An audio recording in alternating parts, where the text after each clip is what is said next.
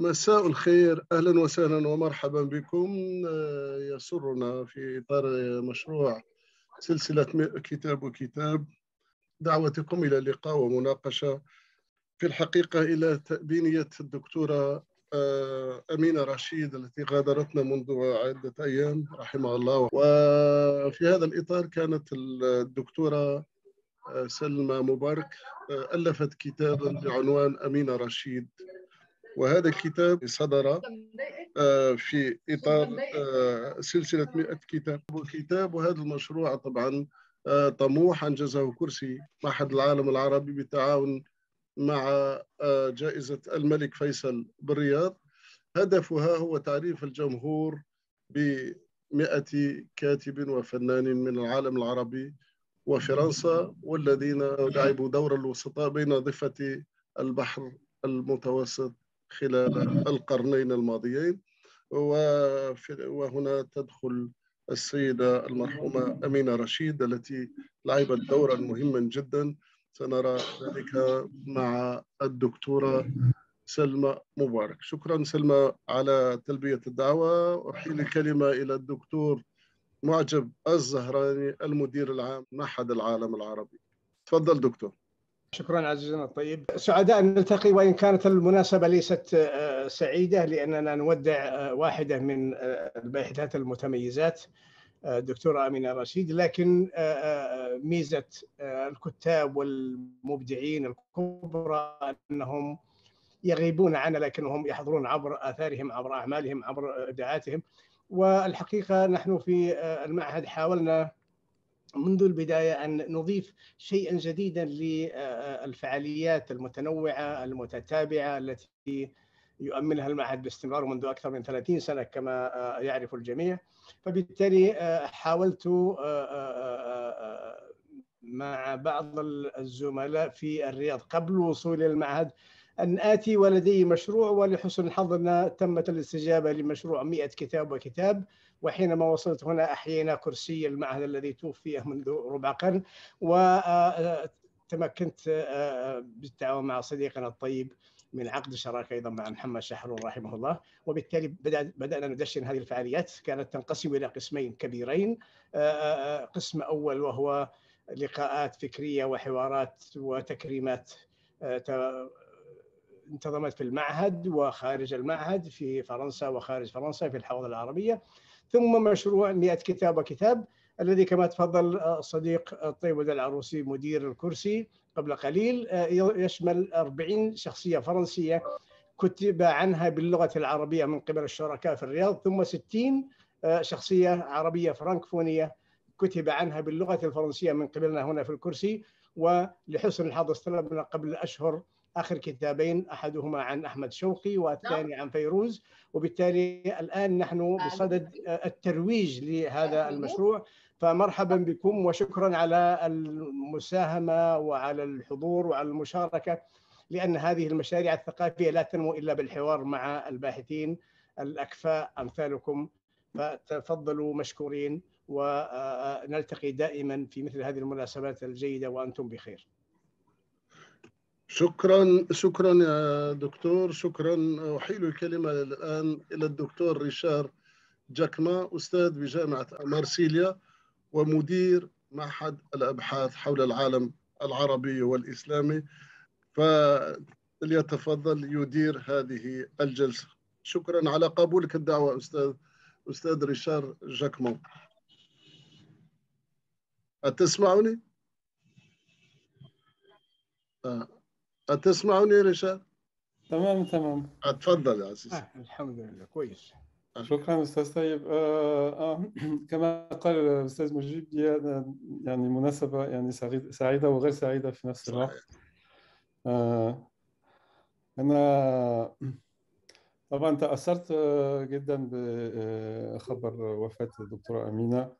ويعني كان بيني وبينها يعني آه، علاقة زمالة وصداقة قديمة. وإن لم أراها منذ يعني فترة طويلة لتغيبي عن مصر منذ آه، سنوات طويلة.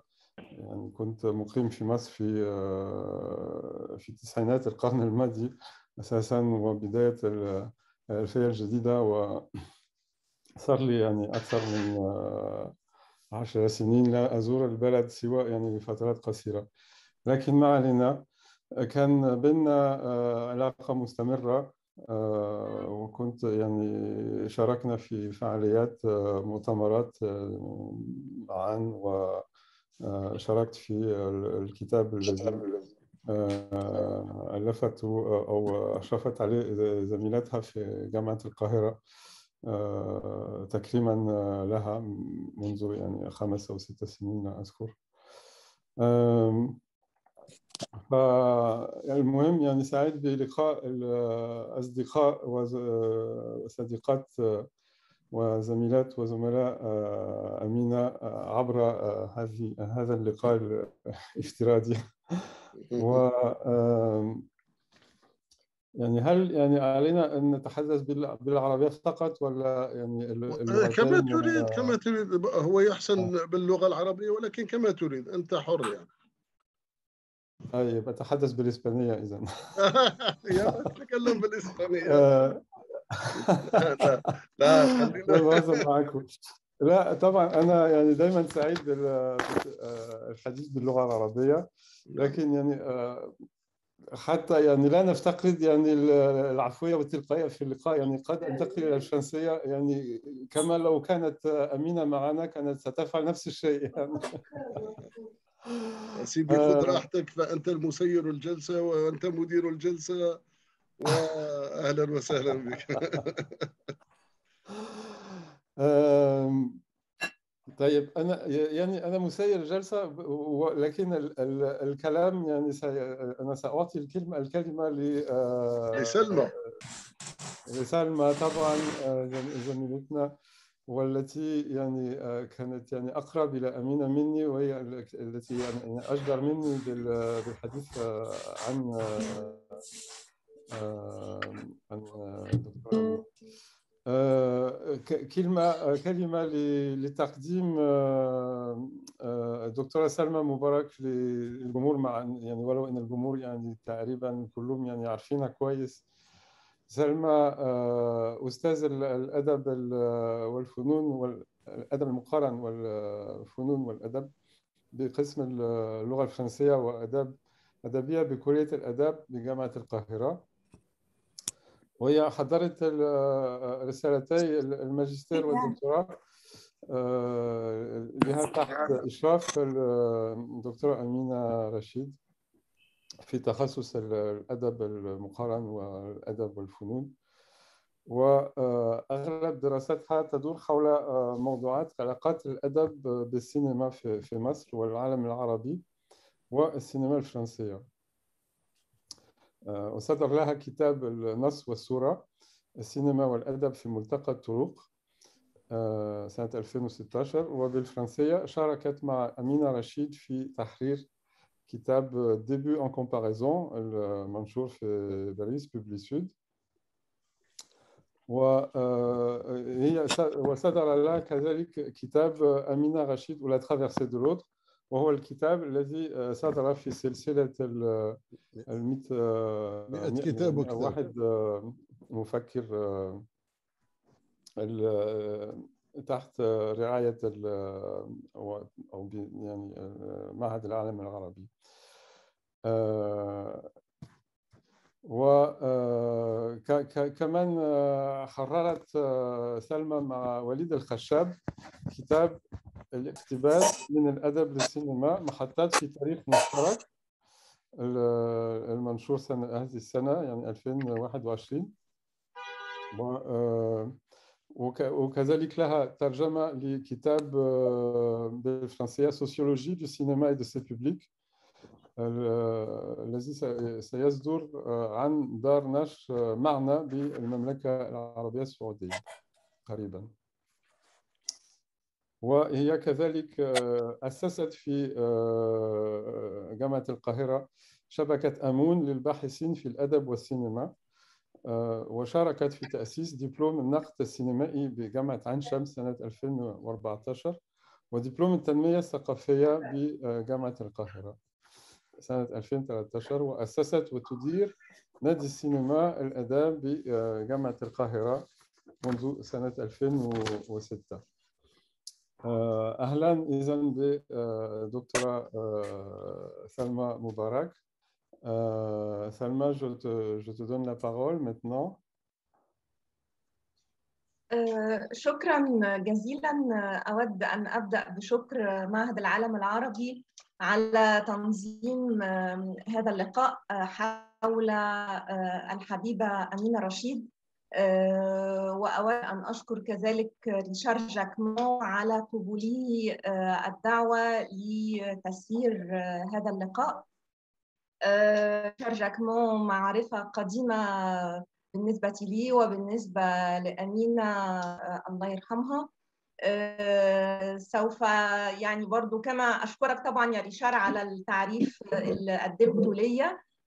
وأنا سوف أقوم بالمثل أيضا لمن لا يعرف ريشار تمام المعرفة. هو أستاذ الأدب واللغة العربية الأدب الحديث العربي واللغة العربية بجامعة إكس مارسي وهو مدير معهد دراسات عن العالم العربي والإسلامي IREMAM في إكس أن بروفانس هو عاش 15 سنة في مصر وفي هذه السنوات هو كان مدير لبرنامج للترجمة تابع للمركز الثقافي الفرنسي. الحقيقة البرنامج ده كان له إصدارات مهمة جدا. من ضمنها أحد الأعمال التي قامت أمينة رشيد بترجمتها وهو على ما أظن La Place كتاب La Place لآني إرنو أعتقد أيضا يوجد كتب أخرى مش بس ده. قام ريشار جاكمان بتقديم وكان في أيضا كتاب كتاب مدخل إلى النقد الأدبي الاجتماعي لا سوسيوكريتيك اللي ترجمته هي بالاشتراك مع جوزها المرحوم الدكتور سيد البحراوي. سيد البحراوي. آه عظيم. ده مش ده مش داخل عن لا الحقيقة ده أنا عايزة آخد منك يعني مراجع هذا الكتاب لأنه لا ي... لا يظهر في المراجع آه. التي عندي التي آه. لدي. آه آه أنا مش عندي. ده كتاب مهم جدا يعني. ما أعرفش إنه إنها ترجمته. آه ريشار جاكمان الحقيقة قدم رسالته للدكتوراه آه وهي آه تحولت بعد ذلك إلى كتاب صدر بالفرنسية وبالعربية عن الحقل الأدبي في مصر المعاصرة. والحقيقة ده كتاب يعني عظيم جدا ويعتبر يعني بنك للأفكار الملهمة وللمعلومات السرية. وهو بالإضافة إلى ذلك هو أيضا قام بترجمة أكثر من 20 عمل من العربية إلى الفرنسية من ضمنهم ثمان أعمال روائية للروائي المصري صنع الله إبراهيم. ومؤخرا حصل الكتاب الذي ترجمه بعنوان على أثر عنايات الزيات على جائزة الترجمة 2021 ترجمة جائزة ابن خلدون. فأشكرك ريشار على وجودك معنا و يعني كيف تحب أن نبدأ هذا اللقاء؟ كما كما اتفقنا آه آه نبدأ ب آه يعني تعريف تعريف جمهورنا يعني أو تذكير يعني بالاحرى لأن الجميع يعني مش الجميع لكن يعني كثير من الموجودين هنا يعني عرفوا أمينة يعني ساعات يعني معرفة يعني حميمة وأكثر مني كمان بالتأكيد. لكن يعني حبينا ننظم الجلسة على أن يعني نبدأ ب يعني تعريف بحياتها بحياة أمينة عن طريق كذلك الفيلم يعني بما إنك أنت سلمى من هواة ودارسات السينما فكان كان لابد من يعني العودة إلى هذا الفيلم العظيم الفيلم التسجيلي العظيم لتهاني راشد أربع نساء من مارس وأمينة يعني إحدى الأربعاء أربع نساء فتفضلي تمام شكرا. طبعا أمينة غنية عن التعريف. هي المثقفة المصرية الأستاذة الجامعية وهي واحدة من القامات الكبرى في مجال الأدب المقارن في العالم العربي. أمينة بدأت رحلتها في مصر الأربعينيات والخمسينيات مصر التي كان يطلق عليها الكوزموبوليتانية.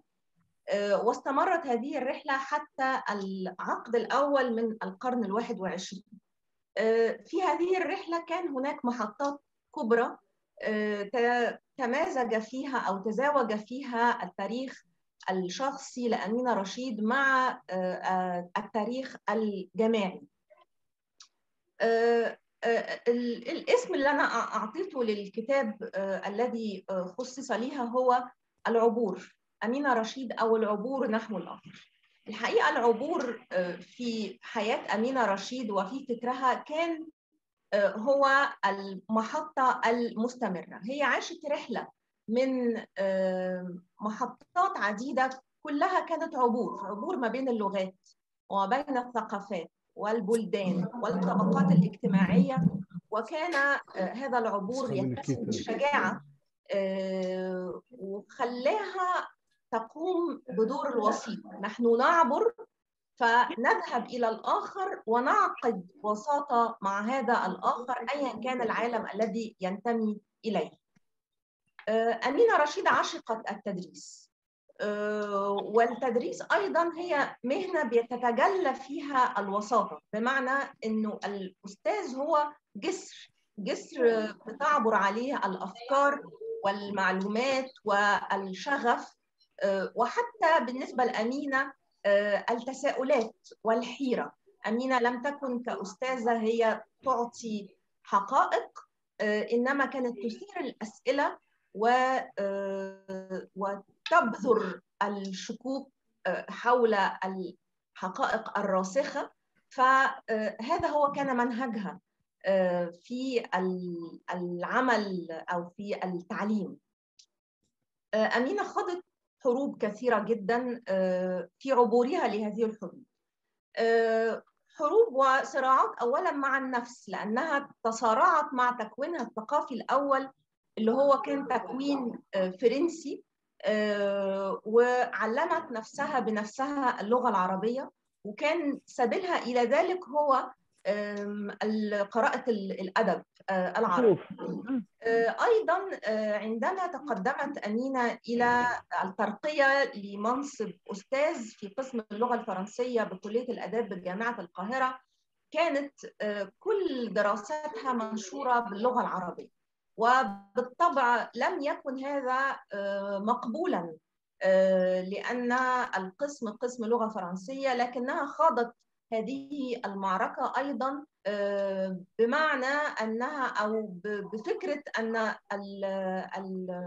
الأدب المقارن هو أدب يسمح بهذا العبور ما بين اللغات وأن القارئ الذي تتوجه له في مصر هو قارئ يقرأ العربية. هي تنقل له الأفكار لكن ليس بالضرورة أن يكون هذا النقل في لغة فرنسية. والحقيقة أنها خاضت هذه المعركة وحصلت فيها على النصر وتم ترقيتها أستاذ بقسم اللغة الفرنسية عن طريق أبحاث كتبت بالعربي.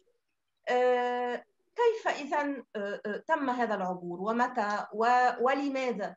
كل هذه الأسئلة هي الأسئلة التي حاولت أن أجيب عليها في الكتاب المخصص لها أمينة رشيد أو العبور نحو الآخر. هو طبعا كتب باللغة الفرنسية لكن نحن سعداء جدا أن هذا الكتاب حاليا هو قيد الترجمة. ومعنا مترجمته دكتورة داليا السعودي ومعنا الناشرة الأستاذة دينا قبيل.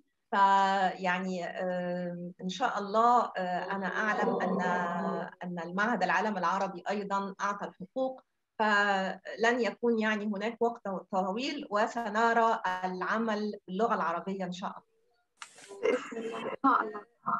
إن شاء الله. اسمحوا لي أن يعني أشارك معكم ملف به بعض الصور والمقتطفات الفيلمية التي تتتبع حياة أمينة رشيد وهو ملف يعني قصير. بعدها أعود إليكم ونعود للحوار مع ريشار حول الموضوعات نعم. الكبرى في فكر أمينة رشيد.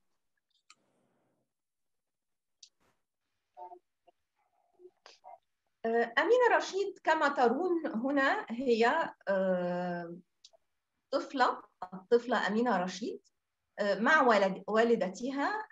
أمينة ولدت عام 1938 في طبقة أرستقراطية من ملاك الأراضي الزراعية. عاشت طفولتها في هذا المنزل. هذه صورة داخلية من منزل إسماعيل صدقي باشا وهو كان رئيس وزراء مصر وكان جدها كان رئيس وزراء مصر في عهد الملك فاروق. كانت هذه الفيلا الفخمة تقع في حي سكني راقي في تلك الفترة وهو حلمية الزيتون وهو الحي الذي خصصه الخديوي عباس لسكن العائلة المالكة والنخبة المصرية. ترون أيضا هنا صور أخرى لأمينة في طفولتها. نراها هنا مع أخوها الصغير إسماعيل وهنا مع أفراد أسرتها أطفال. نرى أمينة هنا في هذه الصورة كذلك. في هذا المنزل كانت اللغة الفرنسية هي لغة الحديث. تقول أمينة رشيد كانت النساء في البيت باستثناء بعض الجمل وباستثناء الكلام في السياسة يتحدثن بالفرنسية وكانت الفرنسية ليس فقط لغة الكلام بل الثقافة والتاريخ والموضة والفن. كنت أسمع كل شيء, كل شيء عن مأساة ماري أنطوانيت ولويس السادس عشر أو عن منفى نابليون في سانتيلان ولا أعرف شيئا عن التاريخ العربي. أسمع أغاني إديت بياف وإيف مونتان وعندما أن يستمع لأم كلثوم في سهرة الخميس كانت النساء لا يخفين نفورهن.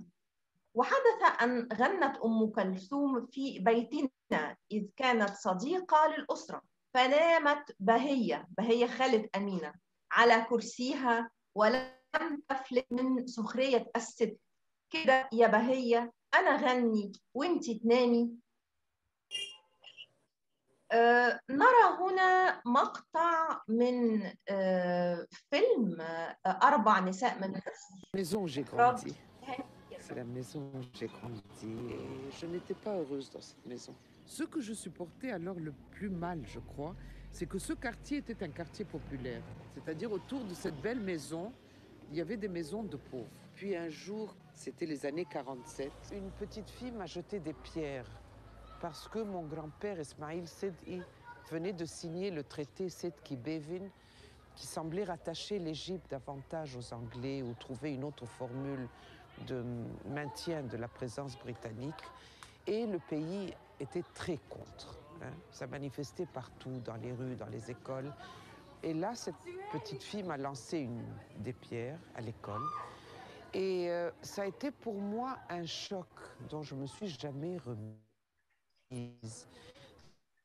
C'est-à-dire que ça a été euh, le premier choc où j'ai compris qu'on m'attaquait, mais que celui qui m'attaquait avait raison. Tout est revenu. ما بين هذا التاريخ الذي تشير إليه أمينة رشيد 1947 عندما ألقت عليها طفلة صغيرة حجرة لأن جدها إسماعيل صدقي كان متهما بالتعاون مع المحتل ما بين 1947 و1954 وهو تاريخ انضمام أمينة رشيد إلى الحركة الشيوعية مرت سنوات آه، صعبة آه، على أمينة لأن في هذه السنوات كانت تعيش تناقضا آه، مؤلما ما بين مشاعرها بالانتماء إلى طبقة أرستقراطية متحللة ورفضها الإنساني التلقائي والمبكر للفروق الطبقية وهو ما وجهها نحو اليسار والثورة منذ سن مبكر هنا سوف نرى مقطع آخر من فيلم تهاني راشد تتذكر أمينة رشيد فيه تلك الفترة من تاريخ مصر C'est après la Seconde Guerre mondiale. Mais le tumulte des événements. Entre 1946 et 1952, les luttes de libération contre la présence britannique battent leur plein en Égypte. Dans notre grande maison, tout le monde parle français et arabe seulement pour s'adresser aux domestiques. Et le sentiment amer d'appartenir à une classe dominante, de l'autre côté de la grille, complice de l'ennemi. Le peuple lui aussi parle l'arabe, sa religion c'est l'islam. C'est vers la même époque que j'ai compris le sens du mot. Istiqlal, indépendance, semblait le mot-clé de l'époque. L'expulsion des Anglais, un mot magique, l'autonomie. Et j'en ai beaucoup souffert. Cette ignorance s'associe dans mes souvenirs au premier germe d'un sentiment qui ne m'a jamais quitté, celui d'une gêne et d'une solitude, d'une rupture, la première. Mon grand-père s'est أمينة رشيد دخلت الجامعة التحقت بالجامعة المصرية بقسم اللغة الفرنسية بكلية الآداب عام 1954 وهناك تعرفت على الأدب العربي. تقول في مذكراتها كانت ثقافتي العربية ضئيلة ومعرفتي باللغة العربية ضعيفة.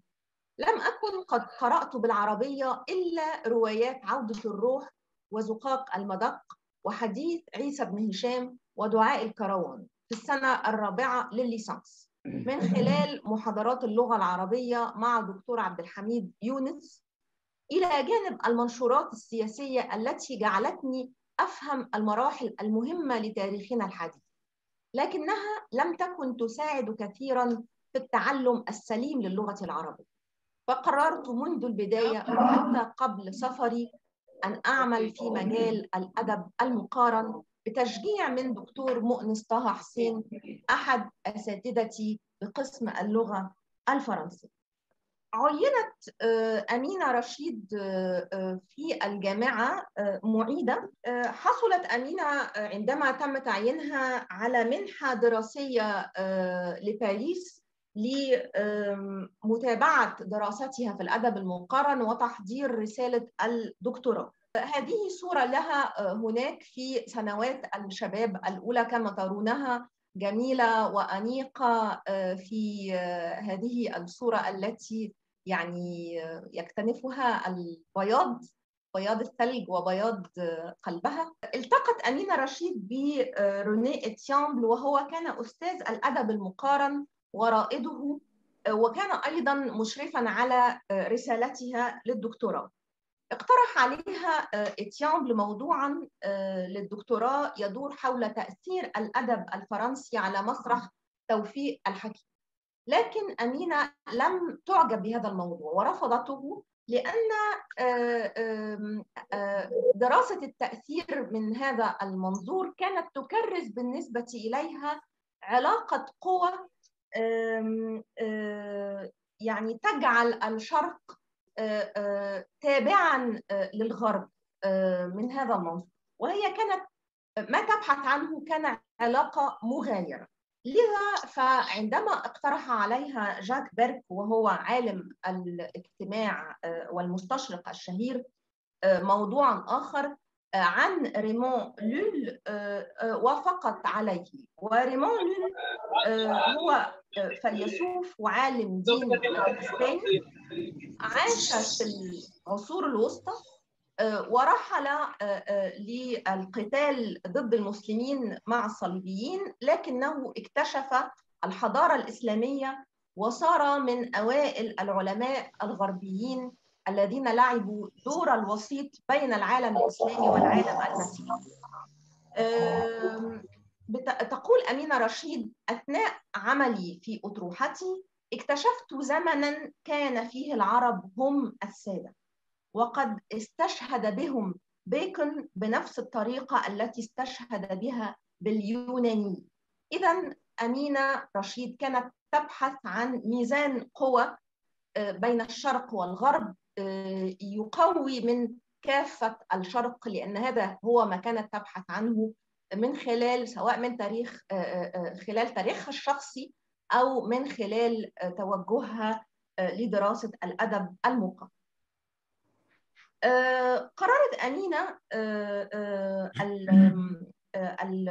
الزواج تزوجت هناك في فرنسا وأنجبت طفلها الوحيد مروان راشد والتحقت بالعمل في السينارس بباريس وكانت كل هذه الأمور تشكل إغراءات كبيرة لها تدفعها إلى الاستمرار في الحياة في باريس.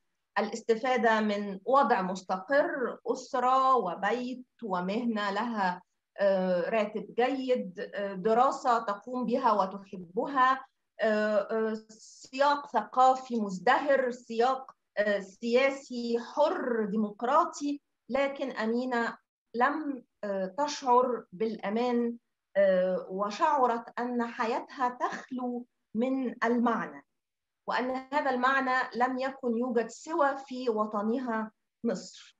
هنا تتخذ قرارها الانتهاء من الدكتوراه والعودة إلى القاهرة. De vivre en France, alors que j'y travaillais au CNRS, euh, j'étais bien payé, j'étais bien logé, j'aimais mes études, l'université, mais ma vie s'est vidée de sens. Et j'ai compris un jour que le sens de ma vie était ici en Égypte, dans mon pays, que je n'avais pas mené cette lutte pour vivre ailleurs.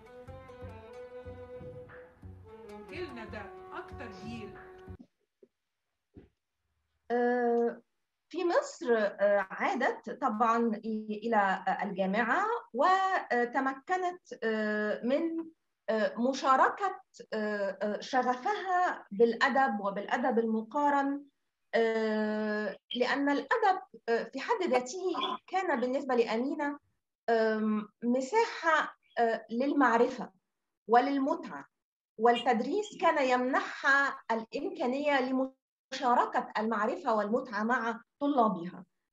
كما ترون هذه الصورة لها في أحد مدرجات كلية الأداب بجامعة القاهرة وهي تلقي محاضراتها عن رواية بالزاك les illusions perdues أو الأوهام الضائعة. إلى جانب هذا العمل بالجامعة وعملها كباحثة وأنشطتها المتعددة والثريه كان هناك أيضا مسارها السياسي بحيث تشكلت صورة أمينة رشيد منذ بداية الثمانينيات كأحد الوجوه الثقافية الكبرى في الحياة الثقافية المصرية وفي مفترق الطرق بين العالم الأكاديمي والحقل الثقافي والعمل السياسي. الصورة التي نراها هنا هي صورة لوقفة احتجاجية في إطار مشاركتها بمجموعة 9 مارس في استقلاء الجامعات وكانت عام 2009 وكما ترون هي كانت وقفة ضد هدم أحد المستشفيات الجامعية بالأسكندرية. أتوقف عند هذا الحد في هذا السرد السريع لبعض المحطات في مسيرة أمينة رشيد وأعود إليكم الآن و ريشار أعتقد أن لديه أيضا بعض ما يحكيه لنا عن أمينة. تفضل يا ريشار. اريد أريد أن تأذنوا لي بكلمة لو سمحتوا تفضل تفضل. OK؟ تفضل. أستاذ ريشار تأذن لي لو تكرمت؟ تفضل أستاذ. تفضل. لأن لدي لدي اجتماع بعد قليل وسعدت كثيرا بما سمعت. تولد لدي انطباع أننا عصابة الأدب المقارن مع بعض الآن لأنني أنا خريج قسم الأدب المقارن بسانسييه باري 3 واشتغلت على صوره الغرب في الرواية العربية المعاصرة. وللأمانة السلسلة 100 كتاب وكتاب جاءتني من حقل الأدب المقارن. كنت دائما أعجب بما يسمى ب les grands médiateurs entre les cultures les littératures les sociétés les peuples وبالتالي أنا أتمنى لكم التوفيق في الاستمرارية لدي اجتماع بعد قليل. وطلوا علي مرتين أو ثلاث ينادونني سأذهب. كنت أتمنى فقط أن صديقي الأعز في باريس وأستاذنا جميعا رشدي راشد يكون معنا لأنني خبرته من قبل فترة وصديقنا العزيز مروان ابنه. لكني لا أدري لماذا لم يحضروا. أرجو أن يكون خيرا. أتمنى لكم التوفيق. ورجاء أعذروني على الانصراف. وشكرا مرة ثانية للجميع. شكرا. شكرا دكتور. إلى اللقاء. طبعا النبذة اللي قدمتها سلمى يعني مؤثرة ومثيرة.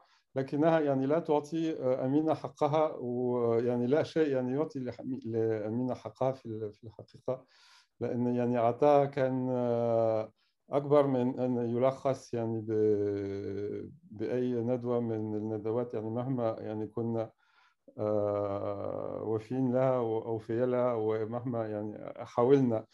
أنا أظن يعني يعني يعني كان يعني إذا كان في يعني كلمة بالنسبة لي يعني تلخص يعني أمينة هو يعني كلمة عطاء يعني فعلا كانت يعني معطاءة يعني للجميع لجميع اللي عرفوها واتعاملوا معها يعني سواء يعني مهنيا أو انسانيا أو هكذا. ف لكن يعني هذا يعني بي يعني بيظهر يعني من من الحديث من حديثها في من المقتطفات اللي استمعنا إليها ومن حديث سلمى. فطبعا يعني لن لن نعطي حق أمينة يعني في هذه الجلسة لكن يعني فقط يعني أنا نحاول أن نعطيها حقها من حيث ما ما قدمته يعني علميا وثقافيا للثقافة المصرية والعربية والثقافة الفرنسية. يعني نحاول يعني في في بعض المحطات أو بعض الأسئلة أو الحوار بيني وبين سلمى أن يعني نعطي فكرة عن أهمية هذا العطاء العلمي الذي قدمته أمينة عن طريق يعني بعض المحاور التي اتفقنا عليها أنا وسلمى والمحور الأول هو يعني مسألة اللغة وإشكالية اللغة واظن إنه يعني كان يعني من أهم ما قدمته أو عبرت عنه أمينة عن طريق يعني تجربتها الشخصية يعني إدراكها لاشكاليه قضية اللغة ما بين الفرنسية والعربية ودلالات معركة اللغة يعني التي هي عاشتها يعني في جسمها. من طفولتها إلى يعني وطول حياتها وكيف كان هذا الصراع يعني هو صراع يعني داخلي وصراع ثقافي كذلك. ف ذكرت سلمى يعني كيف أن أمينة فرضت على على الجميع وعلى على الجامعة التي هي يعني تعمل فيها حقها في التعبير عن نفسها باللغة العربية بعد أن بعد ما كان الجامعة تفرض على تفرض على هيئة التدريس في أقسام اللغات الأجنبية أن ينشروا كل أبحاثهم باللغات الأجنبية التي يدرسونها ويبحثون فيها لترقيتهم. وهي يعني فرضت منشوراتها باللغة العربية وقدمت ترجمات يعني هذا هذه المساهمة القيمة التي قدمتها. ف يعني يعني هل لك أن يعني تواصلي يعني هذه يعني في هذا الاتجاه؟ يعني سلمى اسمح لي ريشار أعتقد اسمح لو تسمح لي تكرمت. فيه سؤال من السيد أو السيدة ابتهال يونس. آه طيب آه أعتقد تفضل يعني فيه آه تفضلي ابتهال. آه, آه مساء الخير ابتهال. آه bonsoir مساء النور. bonsoir ريشار. ازيكم كلكم. لا هو مش مجرد سؤال هو بس أنا كنت رافعة إيدي قبل ما تدخل في المحور غشاق. كنت بس عايزة تامينا على كلام سلمى إن بالنسبة لأمينة رشيد الأستاذ الجامعي مش مجرد باحث ومدرس لازم نركز كمان على دورها في استقلال الجامعة والحريات الأكاديمية والبحث العلمي اللي من غيرهم مش ممكن يبقى في أستاذ جامعة ولا بحث علمي. وأمينة كان لها دور طبعا من خلال 9 مارس بس الحقيقة من قبل 9 مارس هي كانت من أشد المدافعين عن حرية البحث العلمي في الجامعة والحريات الأكاديمية. بس كنت عايزة بس أضيف م. على كلام سلمى. مظبوط مظبوط. شكرا يا ابتهال فعلا على هذه الإضافة. حقيقي أمينة من من قبل يعني ظهور حركة 9 مارس وهي في عملية نضال داخل الجامعة بيربط الجامعة بالسياق العام السياق السياسي العام وهو حقيقة دور يعني نحن نفتقده جدا الآن. لكن أمينة كانت من أشد المدافعين على أن الجامعة هي جزء من المجتمع وأنها يجب أن تقوم بدورها لتغيير هذا المجتمع وكانت بتلجأ إلى الأدوات السياسية المطروحة في تلك الفترة للقيام بهذا الدور.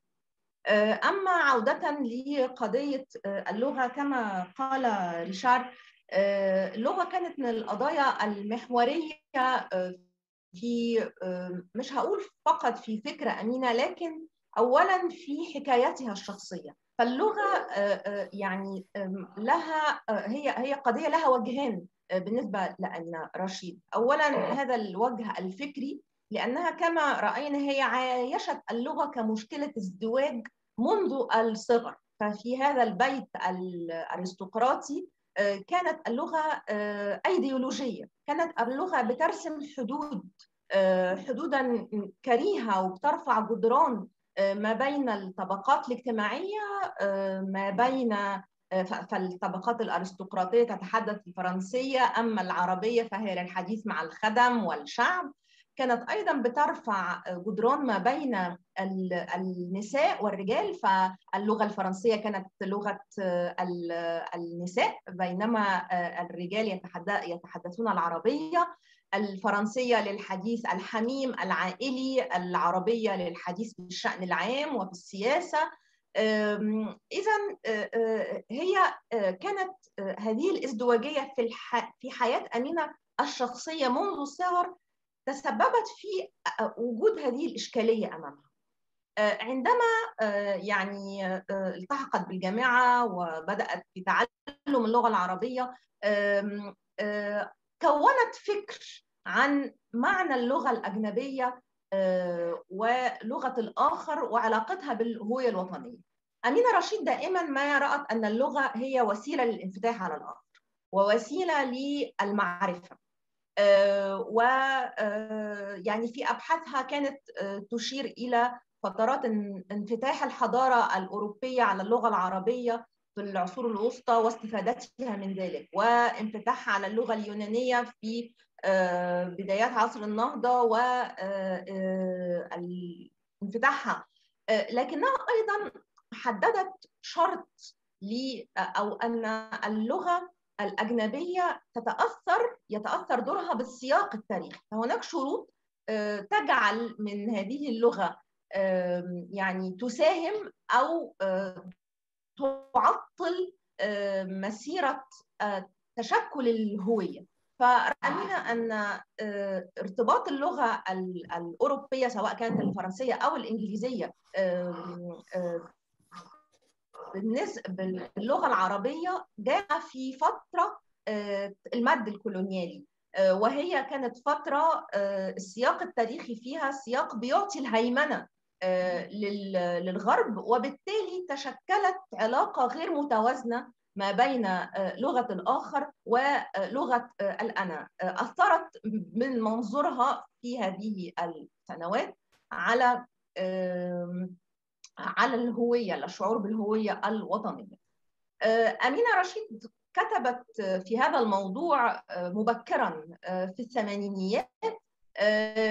الوضع اليوم طبعا مختلف تماما. قد نرى في هذا الرأي يعني قد لا نتفق تماما مع ما تقول ما, ما تقول أمينة في تلك الفترة لكن هو كان معبر على أي حال عن موقف المثقف بعض جانب من المثقفين من اللغة الأجنبية. إذا كانت أمينة حلت مشكلتها الشخصية مع اللغة أو اتجهت إلى الحل بالتدريج من خلال تعلمها العربية كما رأينا فهي على مستوى الفكري حلتها من خلال دراستها للأدب المقارن وبكل ما يشمله الأدب من الأدب المقارن من انفتاح على الآخر ودراسة لهذا الانفتاح ولدراسة هذه العلاقة. يعني كنت أريد أن أضيف أو يعني لأنتقل إلى يعني الموضوع الآخر وهو مربوط أو مرتبط بالموضوع الأول. يعني هذا يعني هذا الوعي الشديد بالعلاقة يعني غير المتوازية ما بين اللغتين والثقافتين التي هي تعمل يعني في في إطارها كان مهم جدا وكان يعني أحد يعني المواضيع أو المواقف التي التقينا فيها أنا وأمينة يعني أثناء تواجدي في في مصر. يعني لأن أنا من من موقفي أنا ك كفرنسي يتحدث أو يتعلم ثم يتحدث ويدرس بالعربية في الذخيرة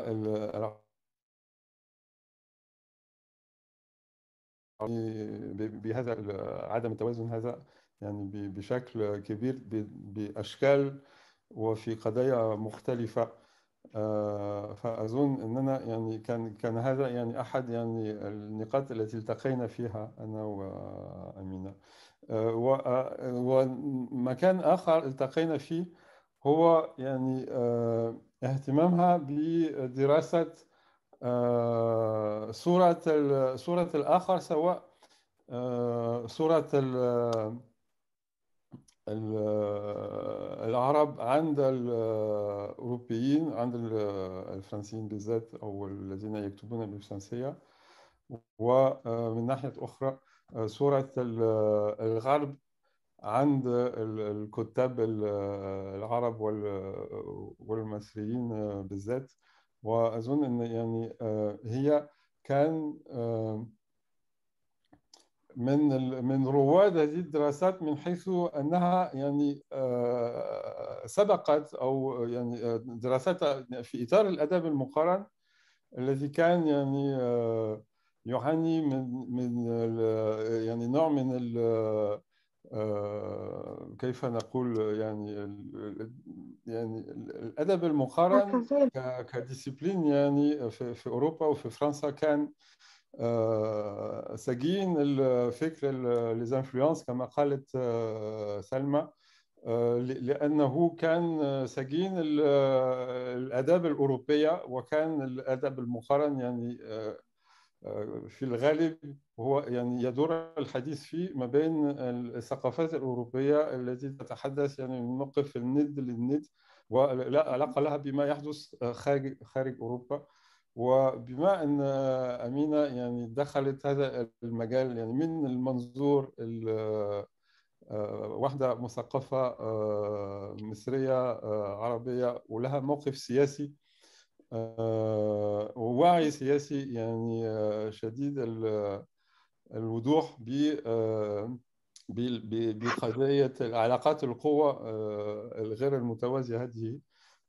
فكان لابد إنها يعني تقلب الآية في في هذا المجال النائم يعني إذا إذا سمحت لي التعبير يعني. وكانت سباقه يعني في في هذا وكتبت ويعني هي التي يعني مثلا أنا فوجئت بأنها يعني تتحدث في أو تقول في كتاب الذي الذي حررته سلمى يعني تستشهد به سلمى تقول أمينة يعني خسارة ان إحنا يعني لم نعد نقرأ فرانس فانون وكتبت هذا في في الثمانينات أو في التسعينات وفعلا في فترة كان يعني الفكر واحد يعني اسمه فرانس فانون فرانس فانون كان منسيا تماما في الدراسات الثقافية وهم الأمريكان أو الباحثين يعني البوست كولونيال في أمريكا اللي أحيوا يعني فكر فانون بعد كده لكن يعني في فرنسا كان منسي تماما فأنا حبيت جدا ان أرى اسمه يعني في كتابات في كتابات أمينة. سلمى. بالفعل يعني شعر أمينة مسارها في في الأدب المقارن كان مسار مغاير للسائد. سواء السائد هذا السائد كان في مجال الأدب المقارن التقليدي في فرنسا أو الأكثر تقليدية في مصر. يعني رفضت أمينة أو ابتعدت عن النشأة الأولى أو عن ما يسمى يطلق عليه المدرسة الفرنسية في الأدب المقارن التي كانت يعني تعتمد على رصد الصور النمطية للآخر ثم المقارنة ما بين الصورة النمطية وما يسمى بحقيقة الآخر. يعني كانت هذه هي ال ال الركيزة التي تعتمد عليها المدرسة الفرنسية في الفكر الفكر المقارن.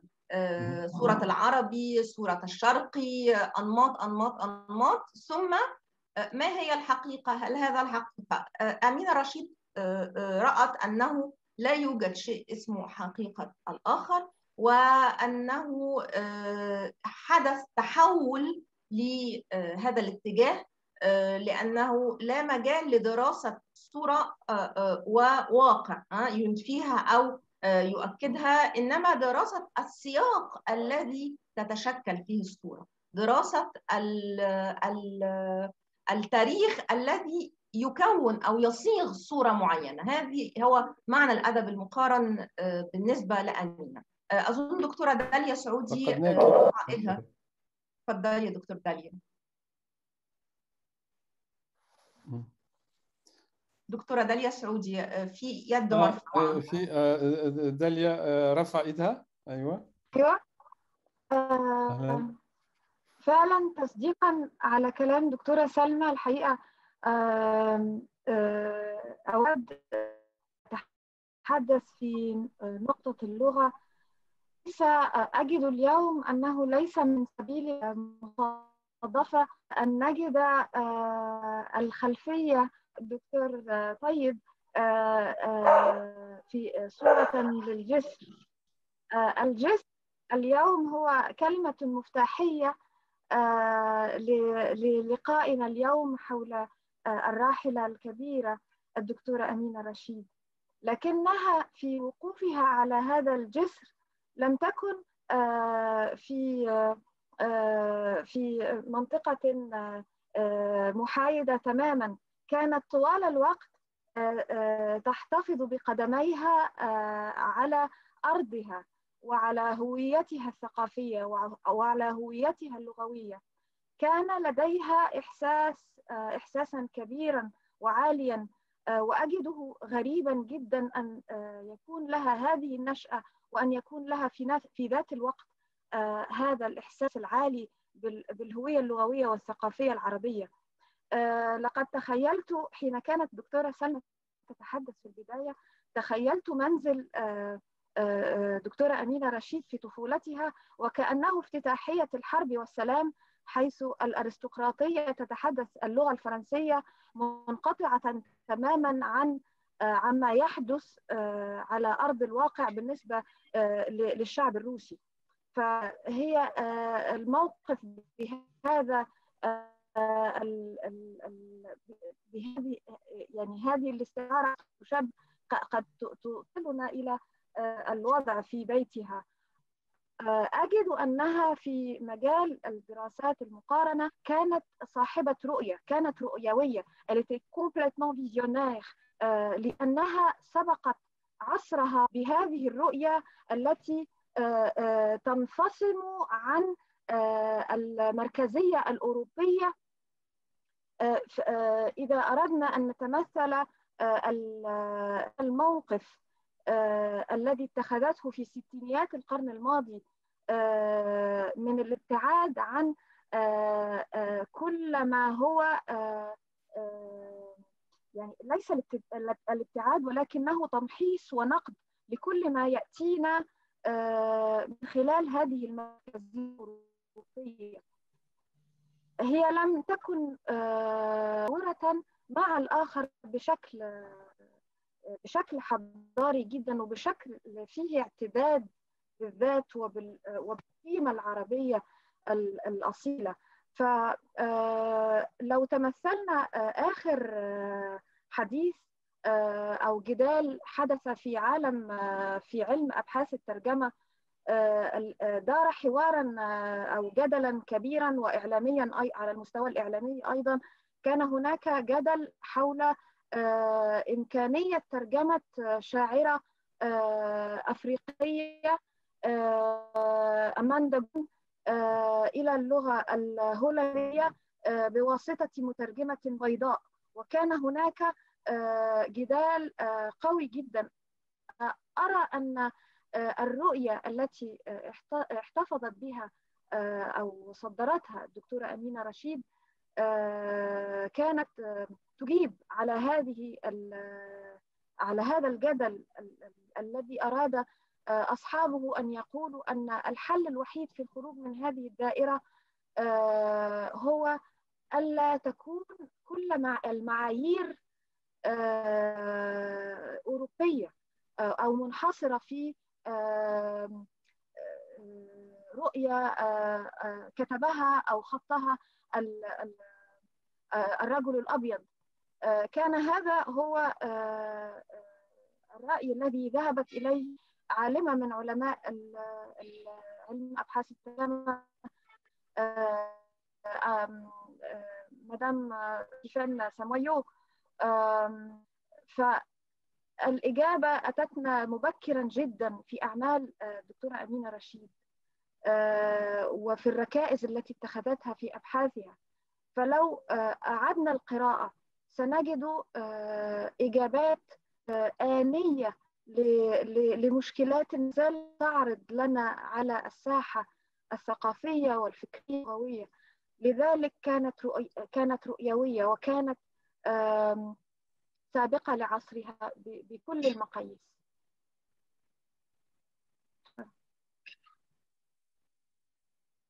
شكرا دكتور أداليا أستاذ بن عيسى طلب الكلمة. نعم.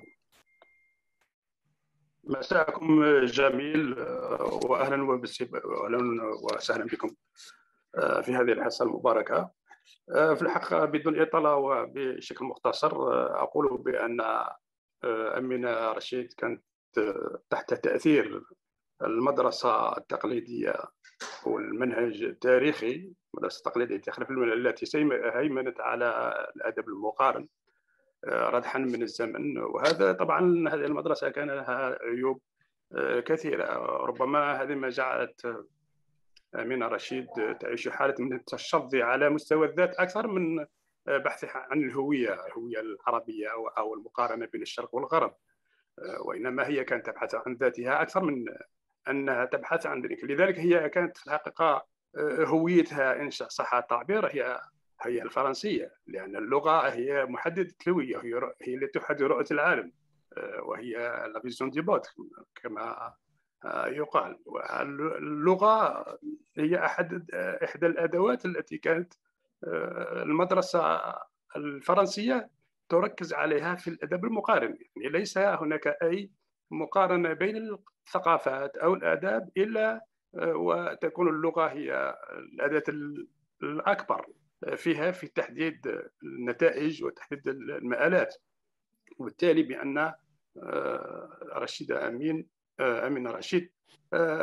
كان تحت تأثير نوع من من الشعور بالدونية في ظل الثقافة الفرنسية باعتبار أنها هي مصرية وهي عربية وهي كذا وكذا تنتمي من حيث الأصل والعرق إلى هذه هذه الكينونة. لكن في المقابل أن هويتها وثقافتها ولغتها من منظور المنهج التاريخي المنهج التقليدي المنهج المقارن الذي كان يهمنا في المدرسة التاريخية الفرنسية رادحا من الزمن وقد هيمن هذا المنهج على كيف يعني أمين رشيد جاءت في السياق جاءت ضمن تيار. يعني تيار هيمنة كثيرا وهذا التيار في الحقيقة في ظل طبعا المنهج التاريخي كما ذكرت وفي الحقيقة أعطى صورة نمطية على الشرق مطلقة في الزمن وفي المكان يعني مجاوزة لحركة التاريخ. يعني العرب يعني العربي هو هو بدوي متخلف كذا كذا كذا ومطلقة في الزمان والمكان يعني إلى يومنا هذا. وقد أسهم كثير من الباحثين وكذا في تكريس هذه الرؤية طبعا الدنيا في الأدب المقارن. طبعا طبعا هناك طه حسين طبعا وهناك كثير. ونقول بأن كما مثل ما ذكر إدوارد سعيد بأن الشرق هو صناعة غربية من الاستشراق. ثقافة الشرق هذه رؤية هذه رؤية صناعة غربية. أصبح العرب أنفسهم يرددونها بحثا عن هويتهم وفي الحقيقة هي لا يبحثون عن هويتهم بقدر ما يعززون الرؤية المركزية أو الغربية في هذا الاتجاه. ودون إطالة ربما هناك من يريد أن يناقش حتى ربما تتحنا فرصة أخرى ونناقش هذا الموضوع بأكثر شكرا شكرا أستاذ بنها أنا يعني بمعرفتي للدكتوره أمينة غشين لا أظن أن يعني أظن أن يعني بدأت فعلا يعني في إطار هذه المدرسة الفرنسية التقليدية كما وصفتها لكني أظن انها خرجت من من هذا الإطار يعني في مشوارها العلمي يعني وخاصة بعد ما عادت إلى مصر وفي كتاباتها اللي أنا يعني ملم بها في التسعينات القرن لو سمحت لو سمحت معلش هو قضية التأثير والتأثر هي رفضت على ما أعتقد ذكرت أستاذة سالمة على ما أعتقد رفضت موضوع بحث خاص بجاك بيرك على ما أعتقد. اقترح عليها موضوع ورفضت بالعكس أنت لا أظن يعني قالت العكس تماما لا لا لا هناك قالت إن جاك بيرك هو الذي يعني اقترح عليها موضوع الدكتوراه بتاعها بعد أن هي كانت وهي كانت بالعكس رفضت الموضوع الأول الذي للخروج.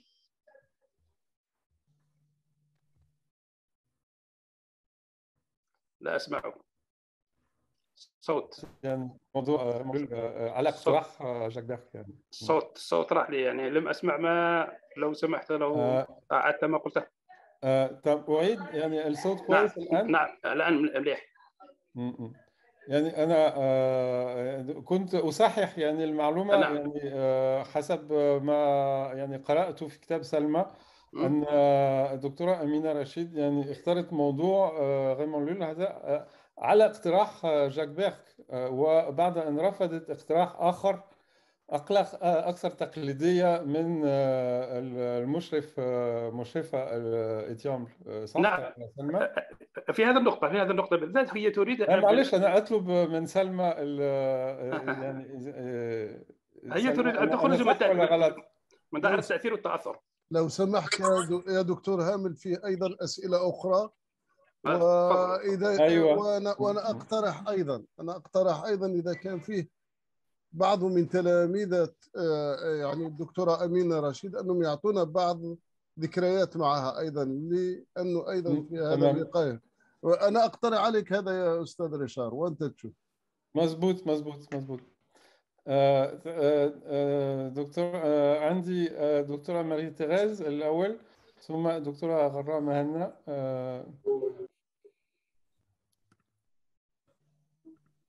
أيوه. ماري تيريز لا. لا أنا غراء يعني. أهلا يا غراء أيوه okay. مساء الخير. مساء النور. وبشكركم لتنظيم هذا اللقاء.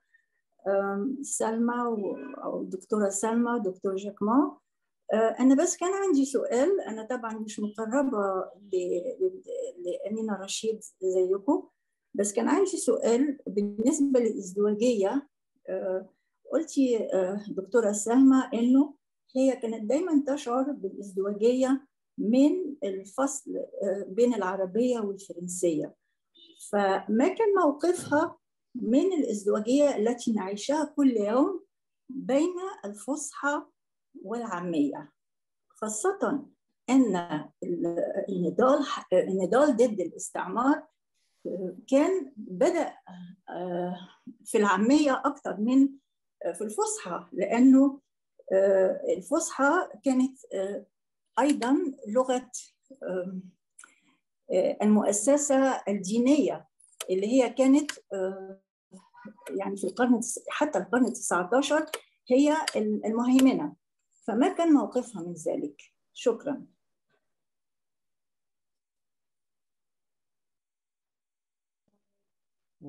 سلمى؟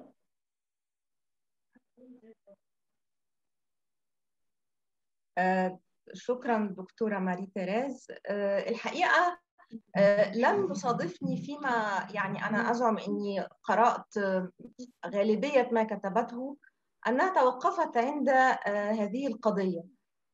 يعني قضية علاقة الفصحى بالعامية لم تكن تشغلها ما كان يشغلها هو العربية في حد ذاتها لأنها كانت علمت نفسها بنفسها هذه اللغة وكان تعلم للغة والثقافة وترسيخ أيضا للهوية. لا أعتقد إن كان لها موقف مناهض للعامية على الإطلاق. هي دائما ما كانت منفتحة يعني. لكن الاختيار ما بين العامية والعربية في كتابتها يعني كان طبعا هي بتكتب دراسات بالعربية الفصحى أما الأعمال الأدبية المنشورة سواء بالعامية أو العربية فهي كان لها موقف دائما منفتح للآخر وللمختلف. هذا ما هو ما أعرفه عنها في هذه القضية على وجه الخصوص.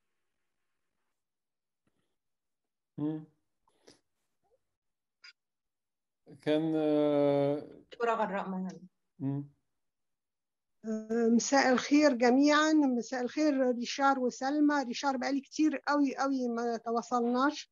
سعيدة بأننا أشوفك. أنا الحقيقة هتكلم في جانب مختلف وهو في آن واحد مختلف وغير مختلف. يعني أنا في إحنا بما إننا في بصدد التعريف بأمينة رشيد في جانب مهم قوي في أمينة رشيد. أنا كزميلة وكعشت معاها عمر الحقيقة أحب إن أنا أقوله. أمينة جت من فرنسا في نفس الوقت اللي أنا اتنقلت من جامعة اسكندرية لجامعة القاهرة. وإحنا كان اهتماماتنا العلمية قريبة جدا اهتمام بالغيرية وبالآخر. أشرفنا مع بعض على أول رسالة عن ازدواجية اللغة لنيفين النصيري. والحقيقة إحنا تملي كانت أمينة بتشجعني. والجانب الإنساني في أمينة الحقيقة أنا ما شفتوش في حد. أمينة بتتعامل برقي شديد مع زملائها وبتحتضنهم وبتشجعهم. فأنا من الناس اللي أمينة شجعتني كتير جدا. من الناس اللي سامعني هل أنا سامعني؟ أيوة آه. تمام. آه أمينة أمينة شجعتني فكانت تقرأ أبحاثي أو لما أشارك معاها في مؤتمر أول واحد يجي يقول لي برافو كان كويس أو تقول لي ملاحظاتها إحنا لما كتبت كتابي في الأدب والنقد عملت لي مقدمة الحقيقة المقدمة بتاعتها دي ادت للكتاب قيمة اشتركت في مناقشته في دار النشر تملي كانت لما تكتب بحث وعارفة إن أنا يهمني الموضوع تبعته لي وده الحقيقة حاجة جميلة. يعني العلم مش بيبقى حقر ولكنه العلم للانتفاع العلم اللي هي بتبعته لكل الناس حواليها. بتحاول تبادر بالسؤال علينا صغير وكبير بالرغم من إن إحنا اللي المفروض نسأل عليها. الحقيقة إنسانيتها ورقيها في التعامل وعلمها. يعني الحقيقة امينه كنا بنتناقش كتير لأن إحنا اهتماماتنا واحدة في المناقشة وكنا الحقيقة كان تملي يسعدني مناقشتها. كنا بندرس الأدب المقارن وأنا أذكر مرة إنها خدت الطلبة بتوعي بعد لما أنا كنت درست لهم. إحنا في يعني الواحد ما يستمرش يدي نفس المادة أكتر من عامين. الحقيقة بصيت لقيتها بتقول لي بتشكرني على اللي أنا علمته للطلبة. في الفترة اللي أنا خدت فيها المحاضرة دي. الحقيقة دي كلها حاجات الواحد مش بيلاقيها بسهولة في حد تاني. أمينة كانت إنسانة متميزة انسانيا كانت إنسانة راقية جدا في تعاملها كانت إنسانة على علم ولكن العلم بتاعها ده للجميع مش حكر ليها هي وحدها. الحقيقة أنا شخصيا افتقدتها وافتقدت تشجيعها. وافتقدت سؤالها عليا رغم إن أنا اللي كان المفروض أسأل. وافتقدت وجودها وجودها في قسمنا. وشكرا. الحمد لله. شكرا. غراء. آه مش عارف أقول عفوا يا ريشا آه. عودة القضية العلمية يمكن يعني أنا يعني اللي استخرجته واستفدت منه من من كتاب سلمى يعني غطى المسار العلمي لأمينة أنا حسيت إنه إنها يعني وصلت أو توصلت لحل ذكي لقضية اللي بيعيشها كل مثقف وباحث اللي هي قضية يعني المزج أو الخلط والفرق في نفس الوقت ما بين الالتزام السياسي وال والانتماء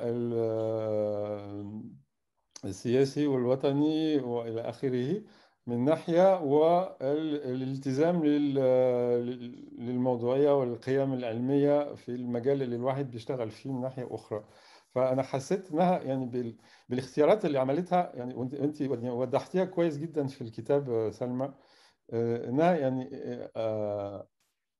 عملت سلسلة من الاختيارات يعني خلتها يعني وافية في نفس الوقت لالتزاماتها السياسية والأيديولوجية ومن الناحية الثانية كذلك وافية للمتطلبات العلم اللي هي بتشتغل فيه. يعني رفضها لل البنيوية والدراسات يعني الناس من أجل الناس والناس المقفول في نفسي ويعني وتفضيلها للمناهج النقدية اللي دايما بتاخد في في الاعتبار السياق السياسي والاجتماعي يعني باختلافاتها يعني لأن هي كانت كانت دايما منفتحة جدا يعني في اتجاهاتها النقدية يعني هي ما هياش يعني ولا ناقدة ماركسية ولا هي ناقدة يعني لا تقدري ما تقدريش تدخليها في في خانة في خانة يعني في مذهب يعني مهما كان. كان عندها نوع من يعني الانتقائية لكن لما نقول انتقائية يعني فيها يعني أحيانا فيها يعني سلبية لكن هي كانت يعني عندها انتقائية يعني من الناحية الإيجابية جدا لأن هي دايما بتنتقي يعني اللي هو يناسبها اللي هو يناسب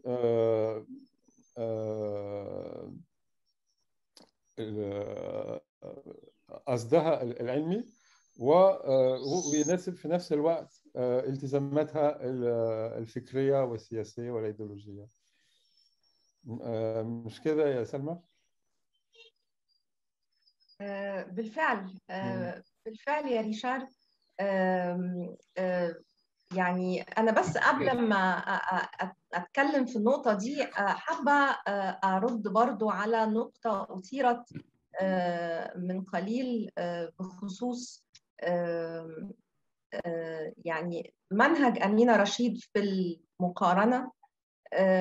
وأؤكد على أن ما قلته هو يعني يكاد يكون عكس ما فهمه أعتقد الاستاذ الذي تحدث منذ قليل لا أستطيع أن أرى اسمه الآن. لكن أمينة هي كما قال ريشار هي رفضت موضوع تقليدي عن التأثير والتأثر تأثر توفيق الحكيم بكتابة يوسف واتجهت إلى موضوع آخر يتحقق فعلا في مفهوم الوساطة مفهوم اللي إحنا قلنا عليه الجسر مفهوم العبور. هذا العالم الاسباني الذي انتقل من السياق الثقافي الأوروبي المسيحي إلى السياق العربي الإسلامي وشكل أول رابطة حقيقية علمية في القرون الوسطى ينتقل عليها الفكر والتعرف على الآخر. هذا هو كان موضوع رسالة الدكتوراه لأمينة. ولا أذكر في كل ما قرأته لها أي موضوع يتناول موضوع التأثير والتأثر على العكس. هي كانت منفتحة جدا على المناهج الحديثة والتي تتعامل مع الأدب المقارن يعني هي كانت قارئة جيدة جدا لتيامبل في نقده اللدى للمركزية الأوروبية ولتودوروف عندما ربط صورة الآخر بخصوصية الأنا وتاريخيته ونسبيته. وإدوارد سعيد وماكسيم رودانسون يعني سلسلة كبيرة وطويلة من الأسماء التي التي تعمق الاتجاه الادب المقارن أعتقد إنه محتاج يقفل الميكروفون. دلوقتي يا ماما قلت دي هو كل حاجة. أنا أنا مش قادره بس إحنا موجودين ما قلتيش ليه؟ ما قلتيش ليه؟ أنا طيب ممكن أعتقد تعمل mute اول الإمكانية دي موجودة عند عند ال host ممكن تستطيع يستطيع أن يغلق الميكروفونات المفتوحة.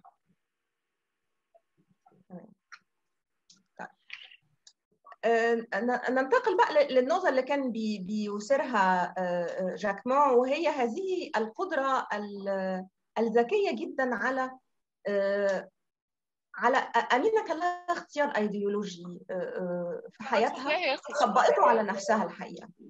طبقته على نفسها وعلى اختياراتها الشخصية في الحياة لكن دون أبدا أن يمس هذا الاتجاه الأيديولوجي قدرتها على تناول النص بحيادية العالم والباحث.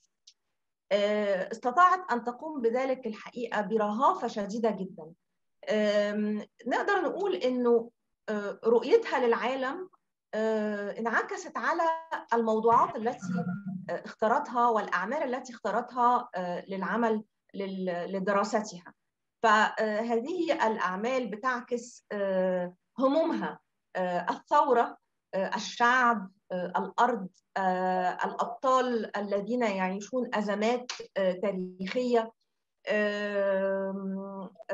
يعني هذه هي الموضوعات التي نراها حتى في عناوين مقالاتها ولكل من يريد أن يقرأ, يقرأ مقالات أمينة رشيد هي موجودة يعني جزء كبير جدا منها على الإنترنت في موقع اسمه الأرشيف لو كتبنا أمينة رشيد الأرشيف هتظهر لنا تقريبا 21 مقالة من المنشورين في فصول وأدب ونقد و يعني عدد كبير جدا من الدوريات التي نشرت فيها بانتظام تراثها الفكري كله موجود ومتاح.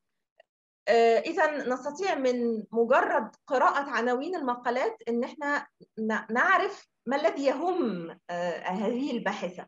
لكن عندما تتناول بالبحث هذه النصوص هي بعيدة تماما عن أي تناول أيديولوجي على العكس هي تتلمس السياق التاريخي لأنه كما قال ريشار جاكمون هي كانت بترفض فكرة انغلاق النفس النص على ذاته أو الفصل ما بين الأدب والسياق. هي كانت مؤمنة جدا أن النص يعيش في السياق وأن النص هو تعبير عن السياق والتاريخ لكنها كانت ترى هذا التعبير ليس فقط على مستوى الموضوعات يعني رواية عن الثورة بتتحدث عن الثورة لكن أيضا حتى في النوع الأدبي حتى في الأشكال السردية في صوت الراوي هي كانت تتلمس هذه الموضوعات أو هذه الخصوصية الأدبية في كل ما في المادة الأدبية ذاتها.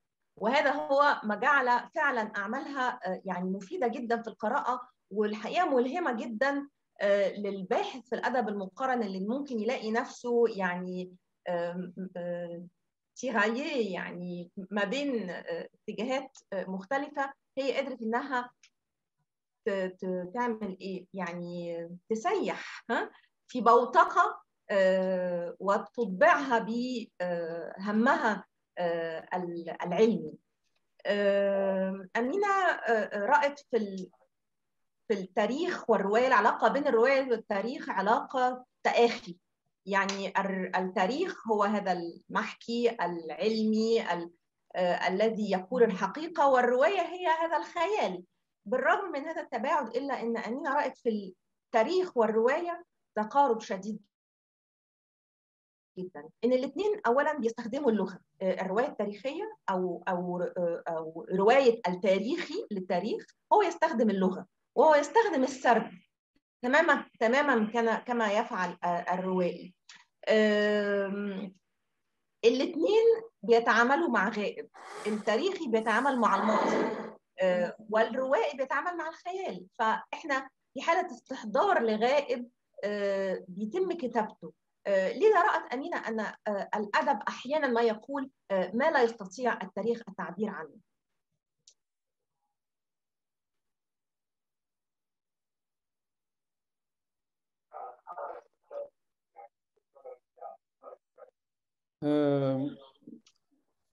يعني موضوع الأدب والتاريخ طبعا يعني رجعني للمؤتمر الكبير اللي كنا نظمناه في أظن سنة كان 2005 2004 2005 يعني شيء تقريبا. كان يعني من أكثر الأوقات اللي يعني أنا يعني اشتغلت مع أمينة كان كان بصفتها كانت في هذا الوقت يعني كانت ممثلة لقسم اللغة الفرنسية في في هذا المؤتمر الذي كنا كان يدوم قسم اللغة العربية كذلك مع طبعا جوزها دكتور سيد وقسم التاريخ. وكان ال الشريك شريك لنا في هذا المؤتمر. أشوف صورته دلوقتي في معنا في في هذا اللقاء من الافتراضي.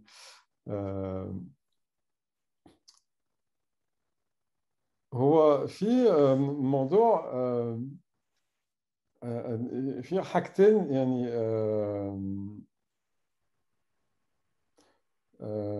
أثروا يعني تساؤلاتي في هذا العطاء العلمي.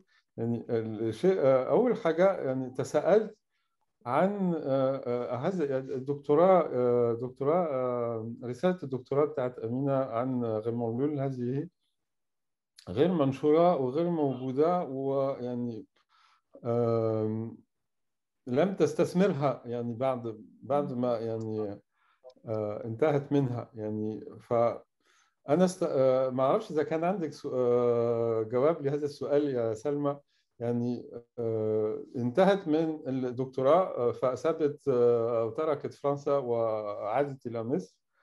و... وكأنها يعني سابت أو تركت رسالة الدكتوراه هناك. كذلك ونسيتها أنا كنت يعني من سنوات عديدة جدا طلبت منها نسخة من هذه الرسالة لقراءتها وهي طبعا رسالة ضخمة جدا يعني هي دكتوراه آه. آه ضخمة غير اللي بنعملها دلوقتي يعني لا لا لا حاجة كده يعني. فهي ساعتها قالت لي يعني شعرت منها أنها ليست راضية عن هذه الرسالة وأنها آه، آه، لم أفهم لماذا. الحقيقة أنا أخذت هذه الرسالة واستمتعت جدا بالرغم من الموضوع كان يعني معقد وبعيد حتى عن اهتماماتي لكني وجدتها رسالة ممتعة ومفيدة جدا في قراءتها. آه، ولما قلت لها كده أمينة كانت دائما يعني لديها تواضع شديد جدا لكني شعرت انها ليس التواضع المعتاد تواضع العالم الم- العالم المعتاد هو آه، أيضا آه، وكأنه عدم رضاء آه، أو عن آه، عن يمكن هذا الشكل من أشكال دراسة العلاقة مع الآخر.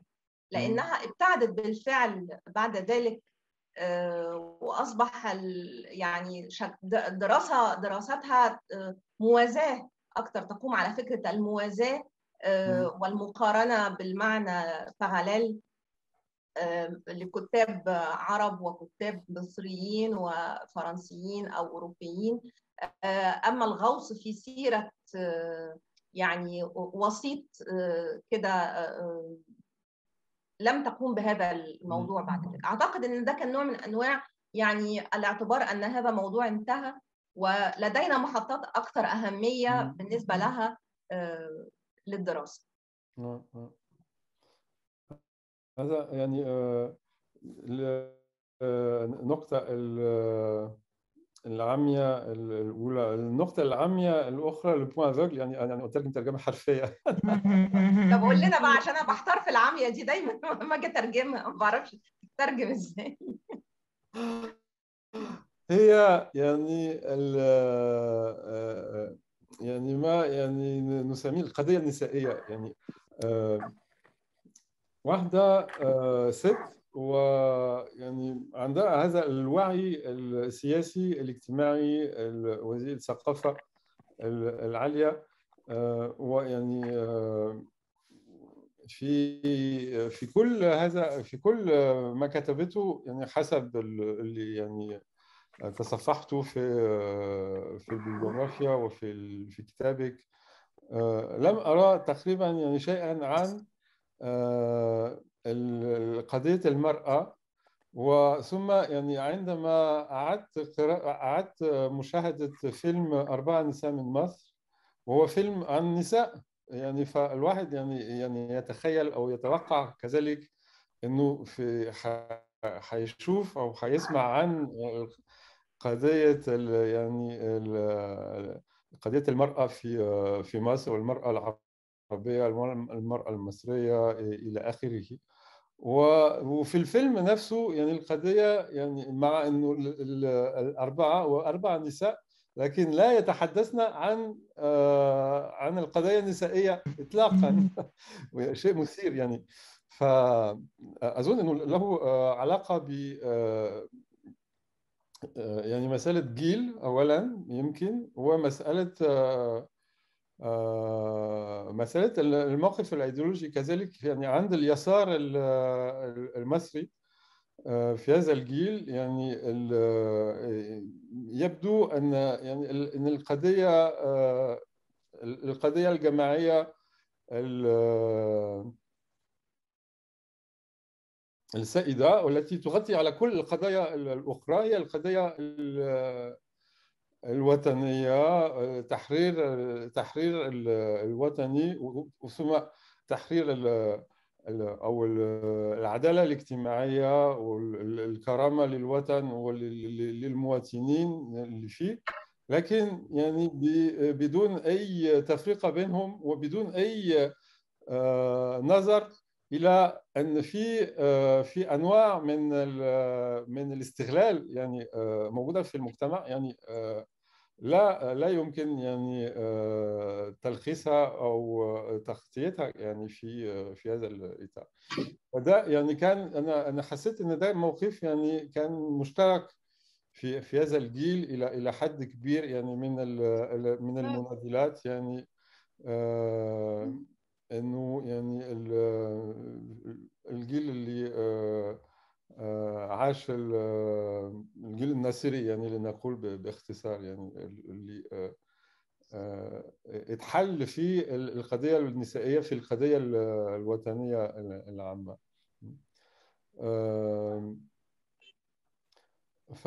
فانا فأسألك يا سلمى يعني فهل هل انت يعني بصفتك يعني تنتمي إلى جيل أصغر يعني ويمكن في الوعي بالقضية النسائية مختلف عن عن جيل أمينة فهل يعني تحدثت معها عن هذا هذه القضية؟ ويعني كيف يعني كيف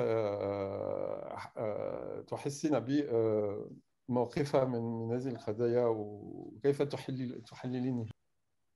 هو أمينة خصصت اولا بعض الكتابات بعد دراستها للأديبات أعمال الأديبات زي لطيفة الزيات زي ميت المساني زي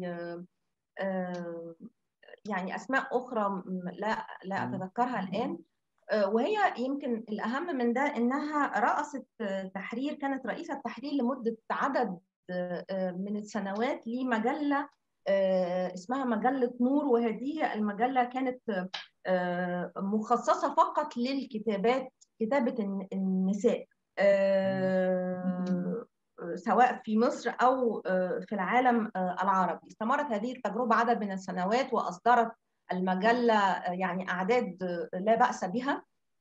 لكن حتى في هذه التجربة لم يكن الصوت هو الصوت النسوي. كانت المرأة هي الموضوع والمرأة هي المادة كتابات المرأة. لكن دون دون التحول إلى صوت النسوية. ال féminisme. ما كانش ما كانش féminisme. كان الاهتمام بالمرأة باعتبارها عنصر موجود في المجتمع يقع عليه الظلم في المجتمع أو أو بشكل مختلف كما يقع الظلم على أفراد يعني آخرين. فلم تكن أمينة من من ذوي اتجاه النسوي أو النقد النسوي لكنها اهتمت بالمرأة ك يعني قضية المرأة كانت جزء من القضية العامة. تماما كما عبرت عن هذا لطيفة الزيات مثلا في رواية الباب المفتوح. أن تحرر المرأة من أسر العائلة وأسر المجتمع هو جزء من التحرر عملية التحرر الوطني.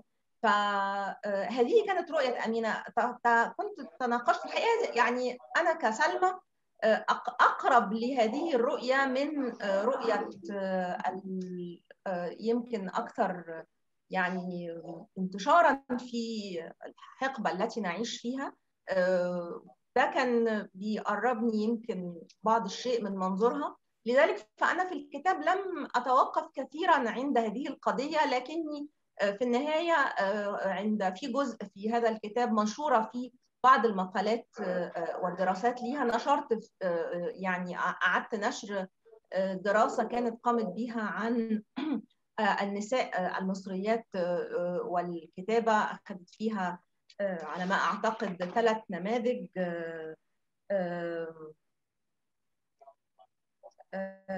لطيفة الزيات أعتقد و فام égyptienne écriture de soi et révolution. النساء المصريات كتابة الذات والثورة تناولت في الحقيقة يعني ملك حفني ناصف ولطيفة الزيات و كاتبة الثالثة يعني اسمها رايح عن بالي دلوقتي منى برنس منى برنس منى برنس لكن من هذا المنظور من هذا المنظور أن أن قضية المرأة هي قضية بتذوب في القضية العامة. المتبقي من الوقت يعني آه، ربع ساعة ف يعني لو آه، آه، أحد في المستمعين يحب يعطي يعني تعليق أو شهادة أو أي تدخل يعني أهلا وسهلا.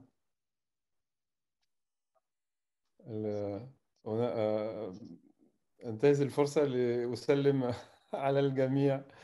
آه، جميع مع مع معارفي يعني القاهرية. أنا عايزة آه، أستأذن داليا داليا آه، تفضلي. آم آم يعني بتكلم بصفتي مش بس زميلة لأمينة وإنه أمينة كمان كانت صديقة كبرى. يمكن أكتر ما كانت أستاذة لأنه أنا من الناس القليلين جدا الاعضاء في قسم اللغة الفرنسية وادابها في جامعة القاهرة اللي أمينة ما درستليش على مدار الليسانس. ولكن كانت بتجمعني بيها صداقة عاوزة أتكلم تحديدا عن موضوع قضية المرأة. بظن أنه غياب الخطاب اللي بيركز على القضايا النسوية في كتابات أمينة بالشكل اللي دلوقتي تعريف النسوية أخذ شكل تاني خالص. بظن أنه مرتبط أولا بجيل زي ما, ما, ما ريشار جاكمو قال لأنه آه، الجيل القديم أو الأجيال القديمة من اليسار وحتى اللي موجودين منهم دلوقتي وبالتالي هم بينتموا لأجيال أكبر آه، قضية المرأة بتعتبر قضية ممكن ثانوية مقارنة بأنه القضية اللي بتتصدر المشهد هي العدالة الاجتماعية ومحاربة الفروق بين الطبقات. وأنه أحيانا كمان بينظر للاهتمام أو التركيز على قضية المرأة على أنه يعني في قدر من ال ال مش الرفاهية ولكن يعني أنه هي قضية تستنى. بعد كده آه، زي ما أعتقد سلمى قالت لأنه في القضية الأهم هي القضية اللي بتجمع آه، طبقات المجتمع. فبظن من ناحية أنه ده كانت آه، على المستوى الفكري وعلى المستوى الذاتي في الحكي عن نفسها آه، كانت جمعتني بأمينة جلسات كتير كانت بتحكي فيها عن سيرتها آه، في محاولة يمكن لتسجيل المشروع ده. آه، أمينة كل تعرضها للمحطات المختلفة من حياتها. كانت أكثر التركيز فيه على التواصل مع الطبقات الأقل منها. حتى في الكلام عن علاقتها كأنثى بطبقتها أو بالطبقات الأخرى والاختيارات اللي ممكن نقول عليها اختيارات أخلاقية مجتمعية هتترفض أو مش هتترفض. الحقيقة كانت ما بتتكلمش عنها بالشكل برضو اللي بنتكلم عنه دلوقتي في قضايا المرأة لكن كانت بتتكلم برضو من منظور البرجوازية اللي لها قيم محافظة وبتهتم جدا بالشكل وبتهتم جدا بالأصول آه، في مقابل إنه حتى نفس الطبقات دي آه، يكون هي لها رأي مغاير لكن بقدر ما في بدايات حياتها هي كانت ملتزمة بالإطار ده. بس كده. ميرسي قوي. شكرا. آه، كان في زميلات أخرى طلبوا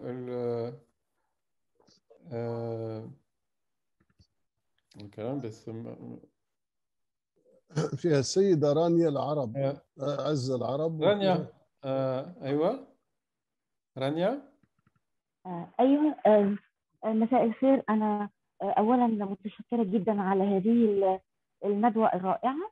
آه وليا سؤال لو تكرمت حضراتكم لسلمى أعتقد أن سلمى آه وقت ما تحدثت عن العلاقة آه، القوية بين الأدب والتاريخ آه، آه، عند أمينة رشيد وقالت إن هما الاثنين بيستخدموا اللغة والسرد وبيتعاملوا مع غائب على حسب ما أنا فهمت.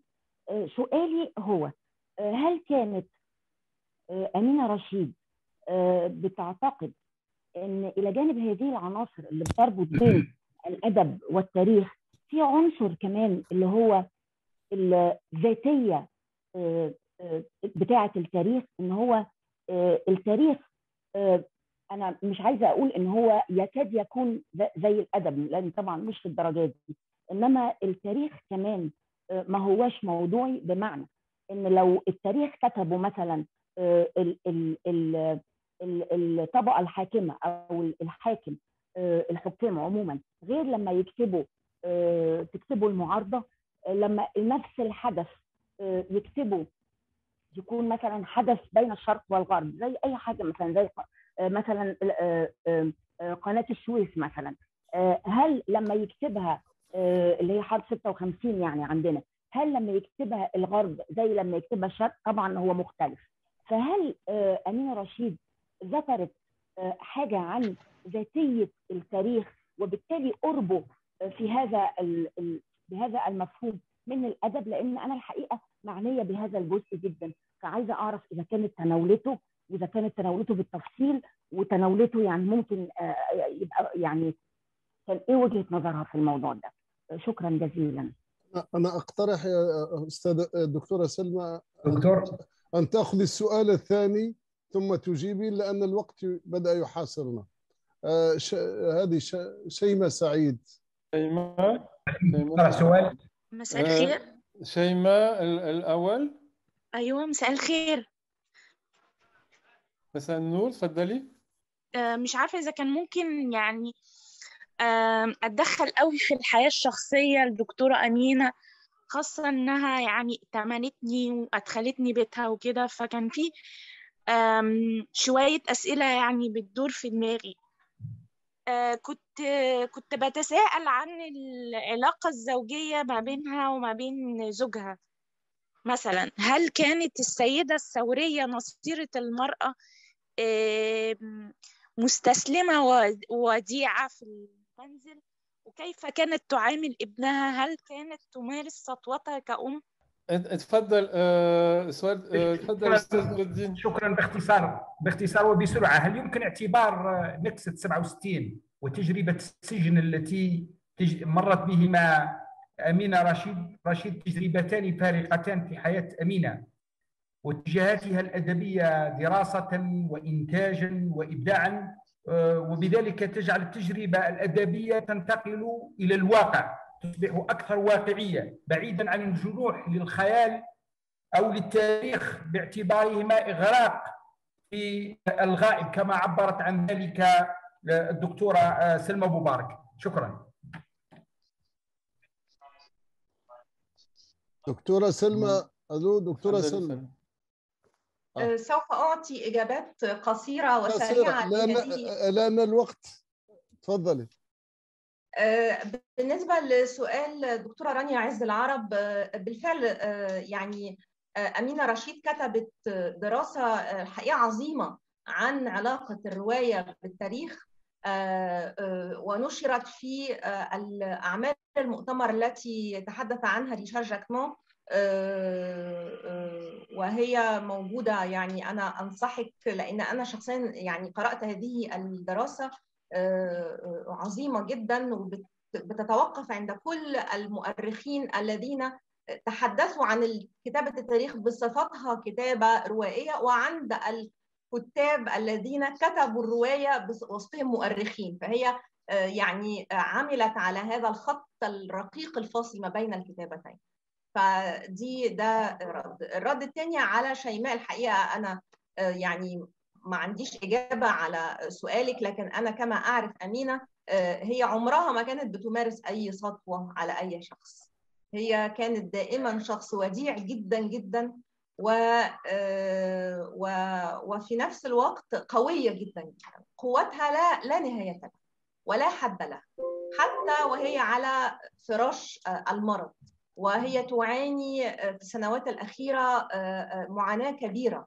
كانت دائما ما تبتسم وتقول آه آه الحمد لله آه بنمشي الحياة يوم هكذا. يعني فهي قوة آه يعني جبارة في التحمل والقبول وفي نفس الوقت رقة ووداعة شديد شديدة آه ورهافة وإحساس بالآخر يعني إلى أبعد مدى. السؤال الثالث كان عن عن تجربة 67 وتجربة السجن. كما قرأت فيما كتبته تجربة 67 كانت مؤلمة بالنسبة ليها طبعا. كانت في باريس في هذا الوقت وكانت يعني صدمة لكل المصريين والعرب الذين كانوا يعيشون هناك. انعكس ذلك على حياتها بشكل انسحابي. من بعد 67 انسحبت من المجال العام والعمل العام والنشاط السياسي والثقافي في باريس وانكبت أو انكفأت على رسالتي وقررت أنها تريد أن تنتهي من هذه الرسالة بأسرع وقت وأصبحت بالتالي في نوع من أنواع ال الانسحاب. أما بالنسبة لتجربه السجن فهي تجربة يعني اتكلمت عنها الحقيقة في فيلم أربع نساء من مصر والفيلم موجود متاح أونلاين وهو فيلم يعني أنصح من لم يشاهده أن يشاهده لأنه فيلم جميل جدا جدا. هي في السجن تعرفت على سيد البحراوي وفي السجن عقد القران قرانهم. و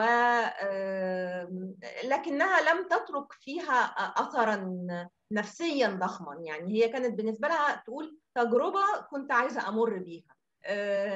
لكن مش أكتر من كده يعني. ما ما ما سابتش ما كانتش علامة فارقة في مسيرتها. الفيلم جميل لأنه بي بيوري كمان خفة دمها. لما بتقول على حكاية السجن آه دخلت السجن وقالت لسفينازة آه أنا فعلا كان نفسي أخوض التجربة دي بس إن شاء الله ما تطولش.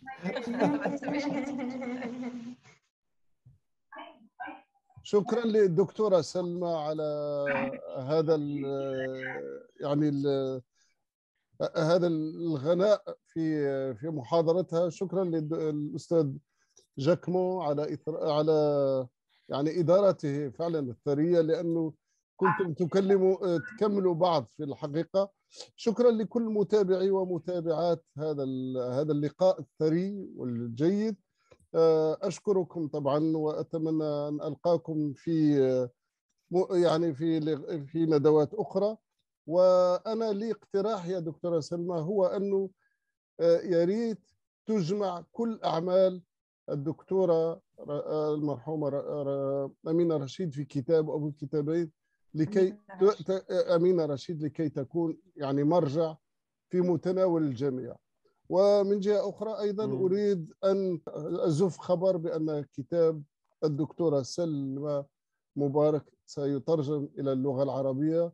وننتظر نحن الآن من أن الناشرة أو الناشر أن يبعث لنا طبعا بالعقد حتى نوقع.